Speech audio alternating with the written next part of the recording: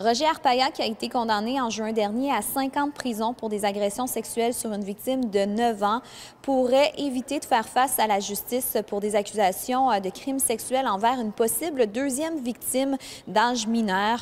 C'est que l'avocate de Roger Arpaia considère qu'il y a un délai déraisonnable entre le dépôt de ces accusations en janvier 2019 et le début du procès qui est prévu pour euh, lundi prochain. Le calcul de ce qui est un délai déraisonnable selon euh, l'arrêt euh, Jordan qui euh, fixe un délai maximal entre le moment du dépôt des accusations et le début euh, du procès. Est un calcul qui est complexe parce qu'il faut déduire les reports demandés par euh, la défense. Et dans le cas qui nous occupe, il y a une grosse différence dans le calcul entre la couronne et la défense. Il y a une différence de neuf mois et ça change complètement la donne pour savoir si le procès doit être annulé ou pas. La juge Annie Vanas a entendu les arguments des deux parties au palais de justice de Trois-Rivières hier.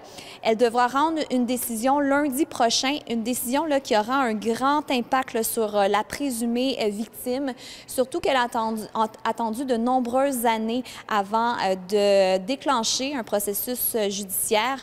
Les gestes reprochés à Roger Arpaia le remontent aux années 80, donc entre 1980 et 1984.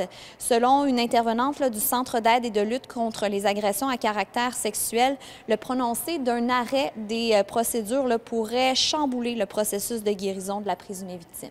Pour les victimes, c'est dramatique. Ça a énormément de conséquences. On parle d'une revictimisation, on parle d'une victime qui a choisi de se tourner vers le processus judiciaire pour avoir euh, une capacité à retrouver le contrôle de sa vie, pallier aux conséquences. La juge doit rendre sa décision. Si elle se range du côté à des arguments de la défense, le procès sera annulé. Sinon, le procès commencera sur le champ lundi matin.